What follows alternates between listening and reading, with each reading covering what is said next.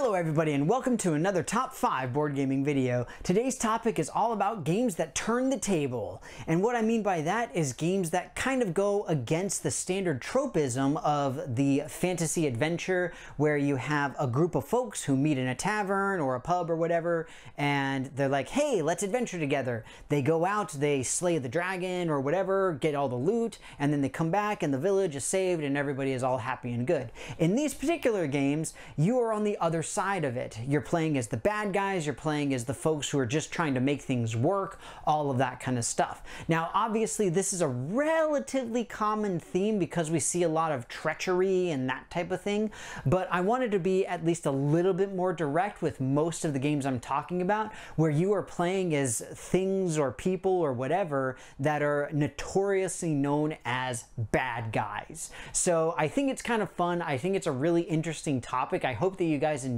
it. As always, let me know what you guys think in the comments below with your personal picks as well as your thoughts on my own. But without further ado, we're going to get started with my number five.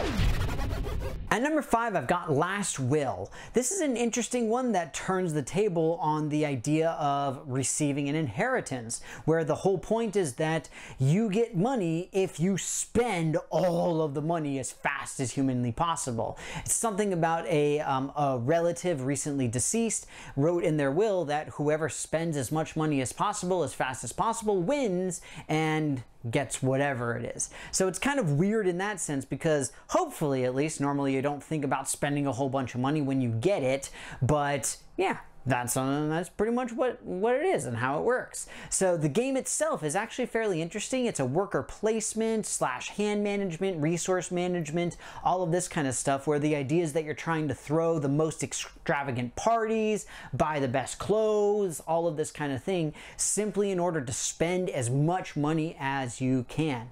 Now that said, it's really low on the list because it's not really a trope to save money when you get an inheritance.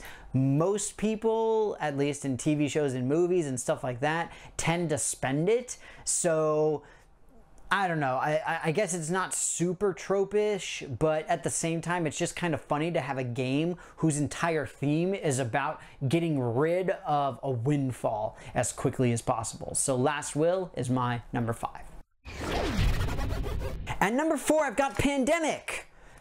Not really. Specifically, I've got Pandemic on the Brink expansion, the first expansion, with the Bioterrorist. The Bioterrorist player is actively going against everybody else. Everybody else is trying to stop the spread of diseases and eventually cure and eradicate them, while the Bioterrorist is actively trying to spread disease and infect new cities and do all of this kind of thing. And so it definitely turns the tables in terms of you have one group that is very distinctly and openly working to do one goal, and then you have the one person who is very distinctly and open, openly working towards a completely different and opposite goal. And essentially, that's why it's so low on the list, is because it's not inherently turning the tables because this is more of a treachery mechanic than it is anything else. But at the same time, as far as strictly speaking, good guys versus bad guys and having a bad guy, bioterrorist versus a bunch of people trying to cure a disease, you can't really beat it, especially in the times of COVID. So I think it works pretty well. Bioterrorist um, module in the On the Brink expansion for Pandemic, my number four. At number three, I've got Cutthroat Caverns. This is a game that is very much in the category of treachery. So this is the semi-cooperative game where the idea is that a monster is revealed and whoever gets the killing blow is the only person who gets the credit for it. And in this particular game, obviously, you're talking about an adventuring party who is not necessarily working together as well as they could or should be. And that's kind of where I was thinking with it for this particular list. And um, very much so because it is heavily, heavily focused on the very standard fantasy tropes from things like D&D and Pathfinder and all of that kind of thing. But at the same time, mechanically, it's a wonderfully well done game. It's very quick to play. It's a ton of fun and you never quite know when you're going to get backstabbed or when the best time to backstab somebody else is so that you can make sure that you get that last blow and get all of the shiny gold all to yourself. Cutthroat Caverns, my number three. At number two, I've got Nefarious, where you're playing as a mad scientist. The whole point of this game is that you are literally trying to build doomsday devices to hold the entire planet hostage, and whoever does it the best wins. So it's awesome. I absolutely love it. And it's a really, really well done game that has a lot of interesting staging associated with it, where the idea is that you have to research information about particular devices, collect all the materials, build it up, all that kind of stuff. Not to mention you're in contact with all the people in the government and all of this sort of thing. It's a lot of fun. It's actually a really quick game to play as well. It's really simple to play, but it's just something that when you think of bad guy or you think of evil doer and that sort of thing, you think of the mad scientist cackling over their massive death ray and all that sort of thing. And Nefarious is right up that alley and it really hits that awesome fun spot of I'm playing as the bad guy and this is super fun and super awesome. Nefarious, my number two. At number one, I've got Dungeon Lords, and quite honestly, this is probably the only game that fits the theme of this list to a T, where the idea is that you are a sort of dungeon master, haha, metaphorically, in the sense of you are building a dungeon. You are populating it with monsters and traps and all sorts of different stuff like that, and you are trying to stop an adventuring party from coming in and stealing all of your stuff because you worked hard. You are trying your best to make the best lair that you possibly can, and these adventurers are just wandering along and meandering in as if nothing is nothing and trying to steal all your stuff. Not cool.